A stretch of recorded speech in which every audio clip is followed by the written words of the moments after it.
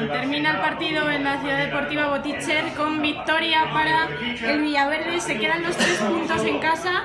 Os ha tocado sufrir con 10 jugadores desde la primera media hora de partido. Sí, nos ha tocado sufrir, la verdad, y ha sido un partido complicado y bueno, eh, nos ha tocado sacarlo adelante y, y creo que nos ha salido pues, lo mejor posible. Jornada 27, el equipo sigue vivo en esa pelea por el cuarto puesto de la competición. Con lo bonito del fútbol modesto, ¿cómo os mantenéis con los pies en la tierra? Pues pensando en el partido a partido, que, que yo creo que esa es la clave. Y creo que ahora solo nos tenemos que centrar en el Móstoles y ya está, porque es que si empezamos a empezar en la clasificación, en los playoffs, pues creo que no va a ser bueno. Así que mejor ir partido a partido y que pase lo que tenga que pasar.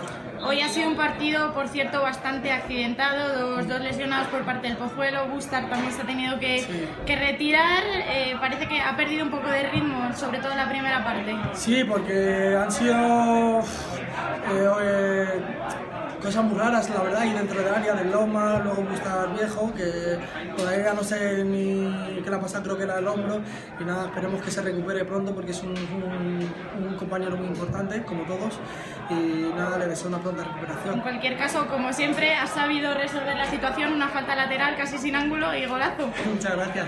Sí, bueno, no me lo pensaba, la verdad.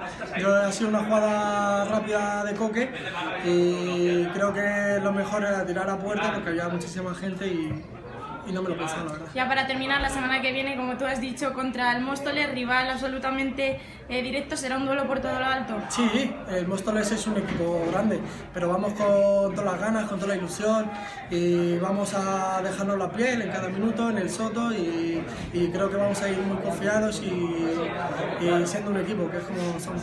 Muy bien, pues muchas gracias.